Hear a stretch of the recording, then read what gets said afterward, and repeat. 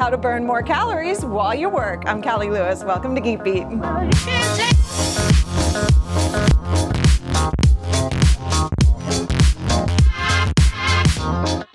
This episode of Geek Beat TV is brought to you by Audible.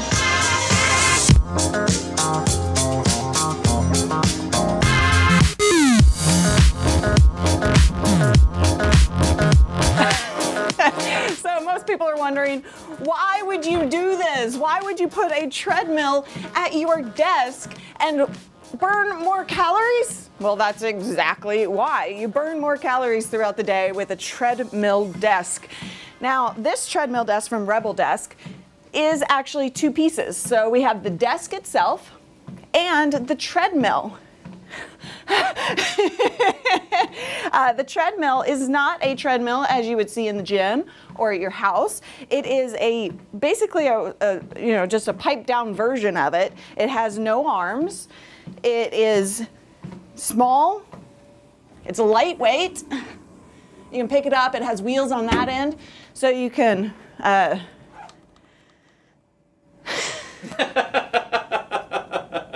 Come on, keep going. it's hard to walk and talk at the same time. No, so it's it's a pipe down version of it, and it, you can use it with any desk that you want. Uh, so you don't have to have Rebel's desk if you have a, an existing desk of your own. It there are studies that say it increases productivity tremendously to be moving about while working. Now, I've never had a problem with productivity, but I can guess that that would be true. It does keep you going, it keeps your, your heart rate up. For instance, um, my heart rate while standing is right about 65 to 72.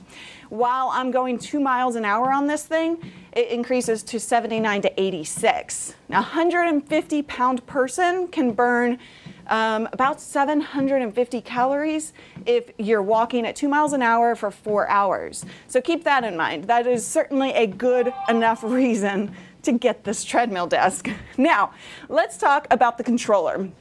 So you have the, the treadmill, but then you have the controller itself.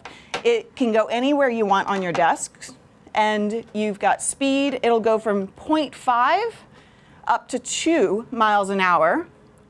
So that's as low as it'll go, and then it'll go up to two miles an hour. You can see your speed, the time you've been walking, and the distance you've gone. Start and stop, of course, and a safety emergency stop. Now, technically, you should be clipping this to your bean while walking don't shh, don't tell anyone. I'm not going to do that. But if you have any concerns, then you absolutely should. But I can multitask. A lot of you are asking, can you actually type while walking? And let me show you. So when you hit start, it actually starts out very, very slowly. So it has it gives you time to ramp up and, and get into that half a mile or that two mile an hour speed. Now, it is not hard at all to sit here and type and see everything and concentrate. It's, it's not a problem at all. And everybody is skeptical about it until I throw, you know, all the guys around here have been like, how does it work? so I've thrown them on here, and every single time they've been like, oh, wow, I can do that. That's pretty easy. So you don't have to worry about that and it is quiet. You hear this. This is at half a mile an hour. You're barely hearing anything. When it gets up to two, you do hear it, but it is quiet, especially for a treadmill. It's not going to bother you while you work. Now, if you have roommates like I do, Ken and John share the office with me, it could bother them if they're on a call or something like that. But if you're in a, a you know, a, an office alone, you don't have to worry about that. You drown the sound out.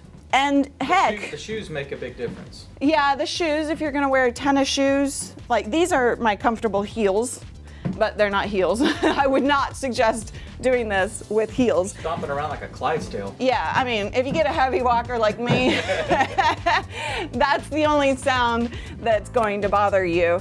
Uh, it is, um, it is really easy to just work and ignore the sound. And you can always listen to an audiobook on Audible. Go to audiblepodcast.com slash geekbeat. You can listen to anything. They have over 100,000 titles, so whatever your interests are, like uh, how about science fiction and fantasy? Uh, you can just choose whatever it is you want, and you can listen anywhere you want on your treadmill, at the gym, walking to work, whatever. and also, thank you so much to all of our patrons who are helping to support this show, like A&M Digital Technologies. Uh, they provide IT support for homes and small businesses. They do uh, offsite data storage, also file recovery, 95% recovery rate, which is fantastic.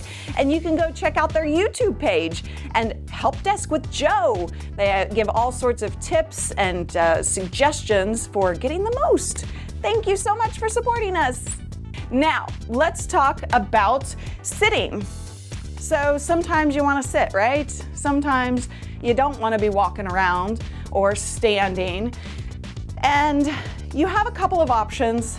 I'm going to say there's no real perfect solution for sitting while you have a treadmill at your desk. Now, you could move this over a little and put a chair on the side and you, you just switch back and forth. So you sit here and you stand and walk here. Uh, that is an option, but to be honest, for me, then you have to adjust all your monitors, change everything. It's not, it's not perfect. Um, now I have found one chair in the entire office that fits right along the edge here that I could crank this desk down and sit down. Now, I will not say that that is perfect either because you have to have the right chair. Who knows what kind of damage I'm putting on this long term? It's actually dangerous because what if the treadmill moves uh, while you're sitting there? So it's that I may do, but I wouldn't suggest doing that. You could sit on the other side of your desk and turn everything around. Or, like a lot of companies, Google for instance, have separate workstations for their treadmill. So it's not a perfect solution. Uh, you are pretty much committed to sitting and walking when you put a treadmill desk at your desk. But you know, if you have the type of job where you have a lot of meetings or lunches or things like that, you can use that time as your sitting time.